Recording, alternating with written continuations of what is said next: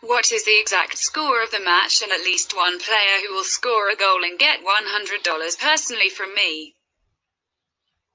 Leave the answers in the comments. Subscribing to the channel and liking the video are also required.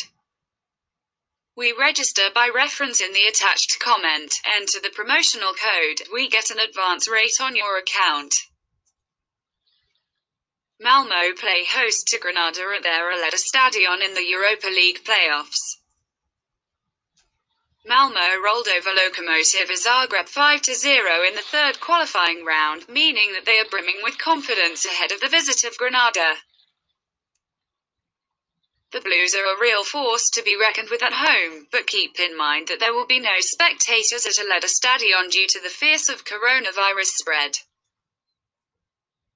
Los Granadinos, on the other hand, booked their place in the playoffs by beating the likes of Teuta 4-0 and Loco Tbilisi 2-0.